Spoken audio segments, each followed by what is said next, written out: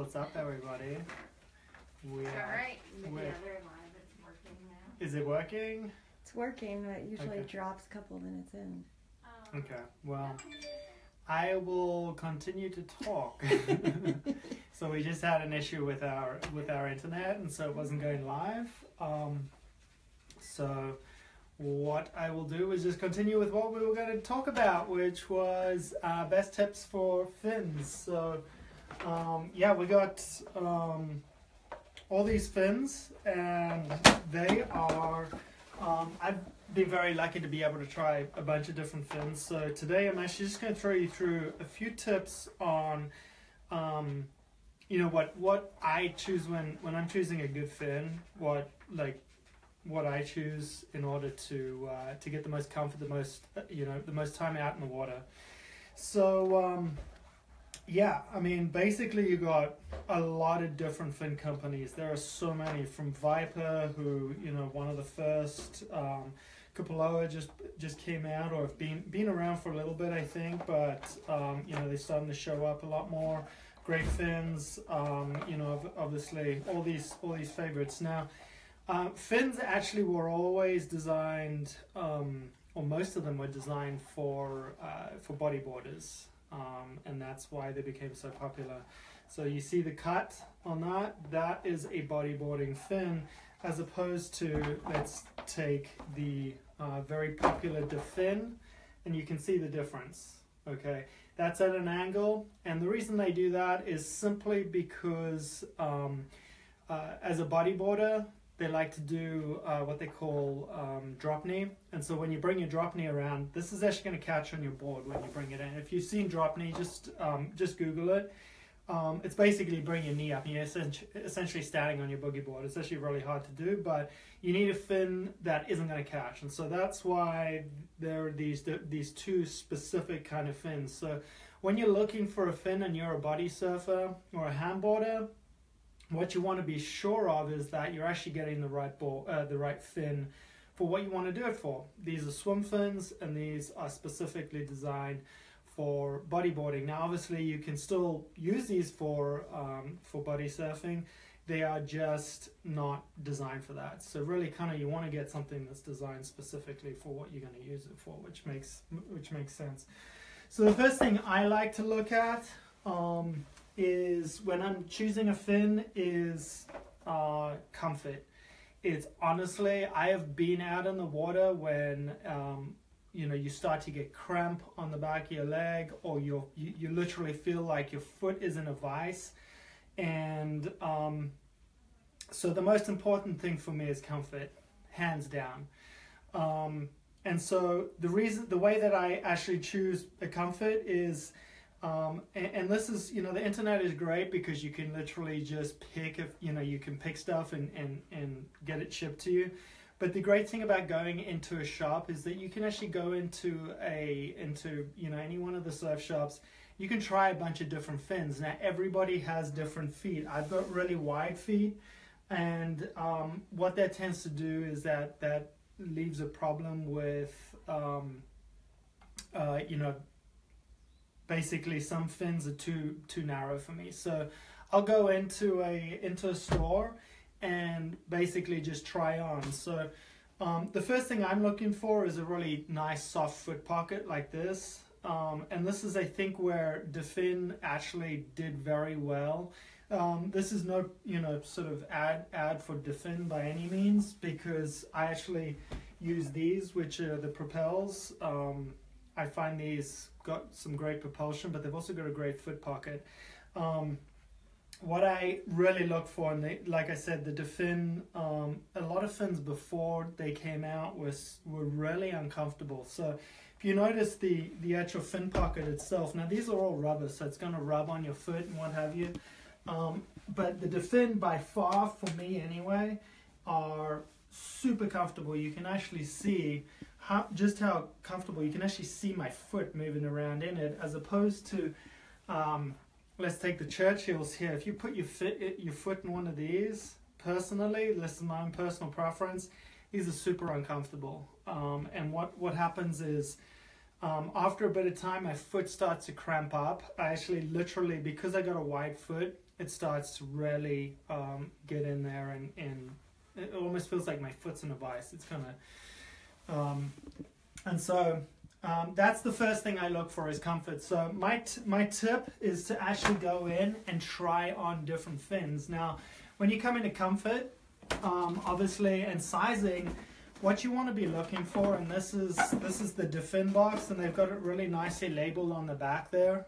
Um, as you can see, like the different different sizes. Now that's an obvious, but okay, fins because you know you've got like I'm a medium large, and I actually run. So with with the fin and all the different fins are different, and so that's why I say try them on. They actually try them on at a shop. Um, and ML is a 910 in the fin Now, you know, the thing is, it could run a little bit smaller. So if you're like on the borderline of a 10, you really want to go in and try them because you actually could be a large, which is an 11, 12. So they kind of run between, um, so a 9 and a 10 is a medium large, and let's say a large, a large is an 11 or 12. So you kind of want to try them on. And, uh, you know, the thing with the DaFiN is they are because they've got that extra bit of malleable. You know, they're pretty malleable. Um, if they are a little small, you tend not to notice it, notice it as much as uh, the other the other uh, the other fins. Now the Kpaloa, um, again, these are these are a great fin, and you know they've also got that very soft foot pocket which is which is awesome. You can see that, and that's kind of really what you're looking for. Um, so the the other thing I like to look for, and this is my own personal thing, is travel friendly. Okay, so if you can imagine sticking these in a uh, and not to rag on the Churchills um, because they've been around for a long time, but um, out of the the fins that I've got, these are by far the most heavy, and or the heaviest, and um, you really, if you're going traveling, let's say I went to Indonesia and I packed a pair of DaFiN, um, I just don't, I don't even notice them until I take them out. But these, these are heavy. So uh, that's something I look for personally um, as a travel thing so that I can take my fins anywhere. They just, uh, the DaFiN are actually very, very good at that. They do, they do pack up really um, really thin, and because they're really thin like that, they pack up really nicely. So if you're going on a awesome trip to uh, you know Tahiti or Fiji or wherever, um, and then you know you can just chuck those and you're not going to notice them. So that's that's uh, that's definitely something I know I I uh, take notice of. Um, so the next thing is obviously materials. Um, there's there tends to be I think a lot of the new fins in a Kpaloa are actually natural natural rubber, but there's also um, synthetic rubber, which a lot of the uh, now I know that the propels they do come in a natural rubber. I just think I, I know that these particular ones are synthetic, and so um, the difference between this and this is like night and day. I gotta be honest. Like having a natural rubber is super important. It's really, really comfortable. It's just, it feels so much better um, on your foot, on your skin, so it doesn't leave you with. I've literally, this pair and that pair, I have both on natural rubber, and I do not get any even. I get I get no sort of uh, marks on the back of my feet, or you know, you can. Uh, I know with uh, I know these are also, I think, natural rubber, but I do get, um, I get, because they're actually a lot harder, um, the Viper, I tend to get a lot more scarring on the top of my uh, foot and, and on my toes. So uh, definitely check that out. Um, and so, as far as performance is concerned, um, what you want to look for is drive and flow. And when I say drive, I mean how much sort of propulsion, like forward propulsion, because obviously there's a reason you're wearing a pair of pair of fins. And I always recommend fins when you're going out in the ocean. I don't even like going out in the ocean anymore without a pair of fins. It's uh, it's a safety thing. Um, you know, I can swim really well, but with a pair of fins, there's not a lot that I can't I, I can't get out of.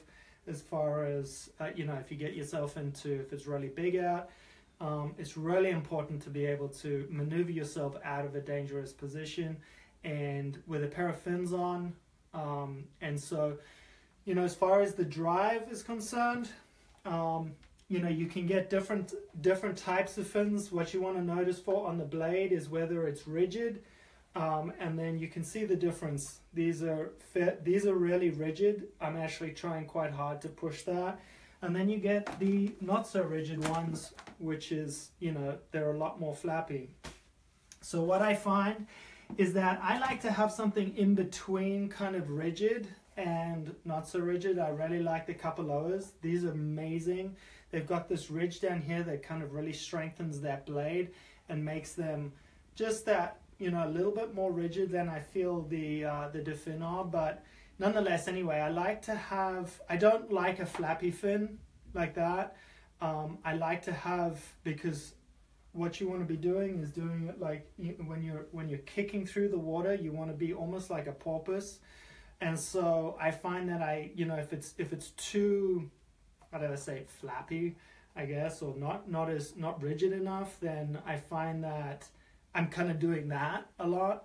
Um, and then if it's too rigid, I start to get um, I start to get problems with my calves because my calves are actually working too much. And so what I like to have is kind of um, kind of a good sort of balance between rigidity and uh, sort of having having something that isn't that rigid. And I don't know what the word for unrigid is. What what would you call it? Unrigid, flappy, Like flappy. Um, Works.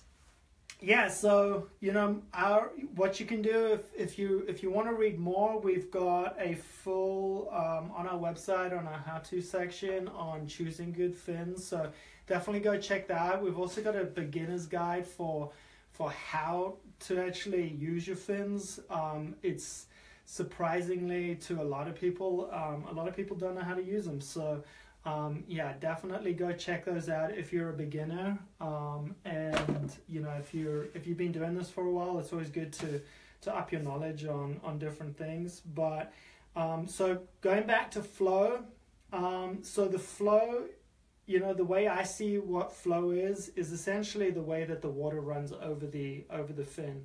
So it, it sounds a little technical as far as like, well, why do you need that? But in real time when you're kicking you know obviously the way that the rubber is shaped the way that you have these fins on the side there is making a difference with your kick. And the way that they're designed these guys you know a lot of um, sort of engineering goes into creating these fins and a lot of testing and what have you and guys with a lot of experience in the water and they understand that the way that the water flows over a fin now, for instance, this fin is designed specifically to be submerged all the time. This fin is actually designed to not be submerged all the time because you're doing drop knee, okay? So that fin is actually when you're, you see those blades on the side there? That's actually when you're in a wave. If you can imagine being in a wave and you need, it's essentially like a fin on a surfboard.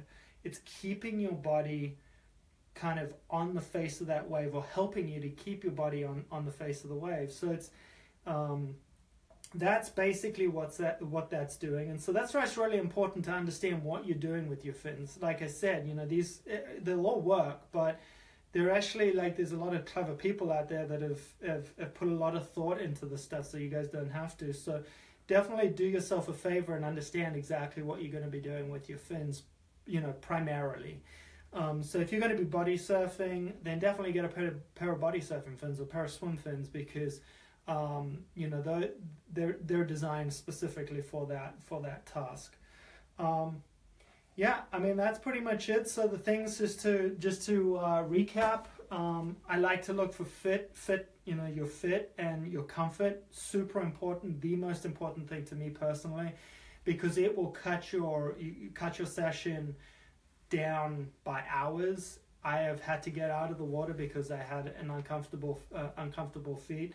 Uh, fins that I've used that I've never ever had an issue with. These three definitely spring to mind immediately.